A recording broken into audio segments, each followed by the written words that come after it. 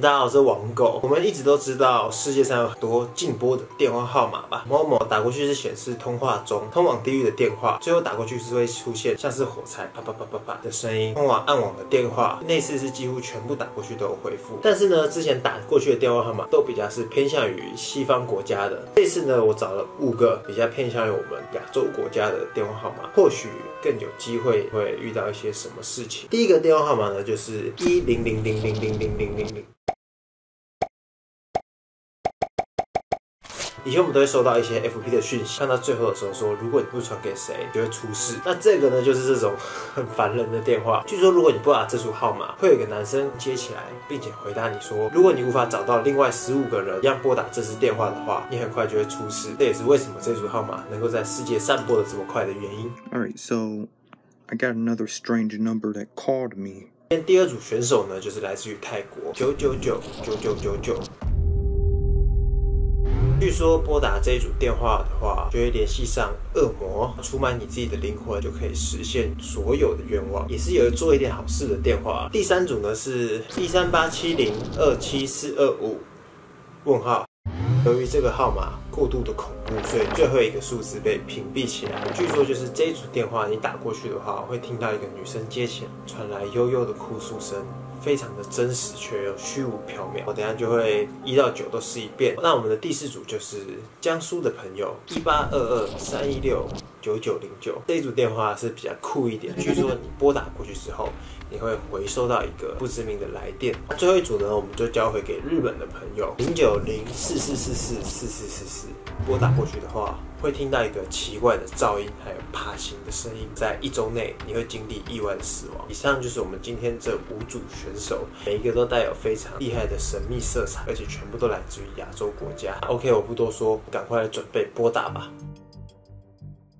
现在是播完画面的隔一天，因为那一天我分成两个时间播，一次是下午，一次是凌晨三点。下午播的时候呢，要么是号码是空号，请查明后再拨，不然就是。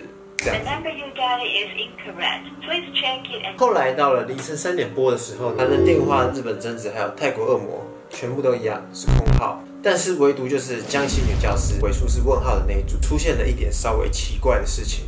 我先给你们看一下四的画面。好，那我们下一个拨打四个。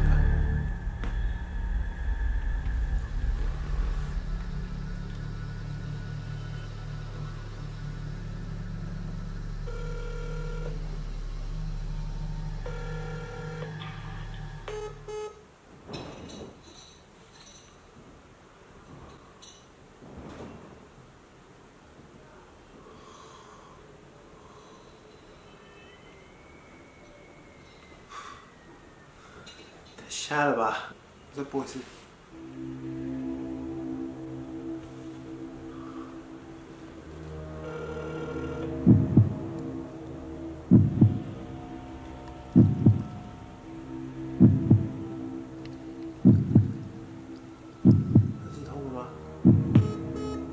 不可能的！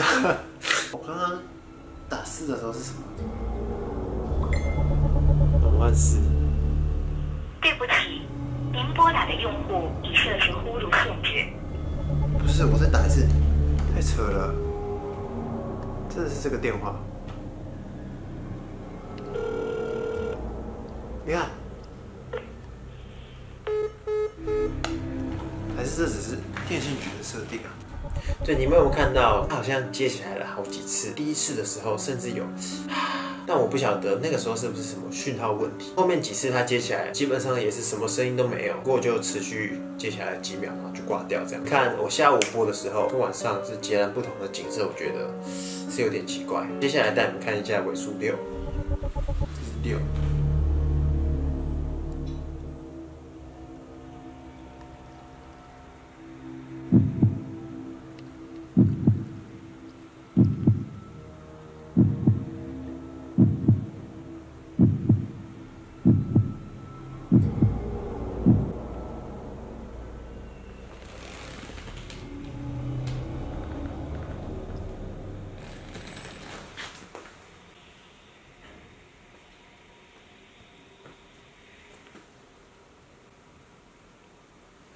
就一直回到一个，就这有点像是那个诅咒电话讲的，说地狱很空荡这样子，只差没有女生在跟你哭泣。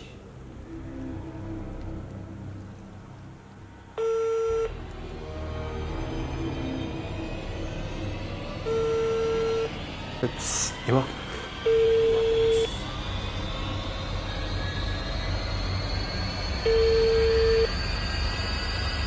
喂，到。喂，你是那个电话的人吗？我是那个王狗，啊？王狗啊？对，你是地狱的少女吗？好了，狗给我。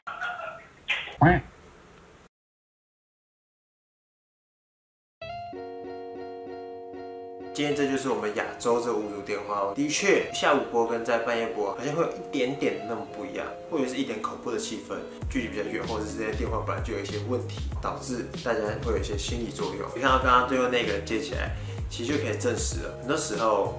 我们自己都吓到自己，那个声音应该只是单纯的讯号不稳，唯一一次成功的破解一个都市传说。好，OK，那今天影片就到这啊。如果喜欢我的频道的话，可以帮我点赞，喜欢谢谢大叔网购，我们下次见，拜。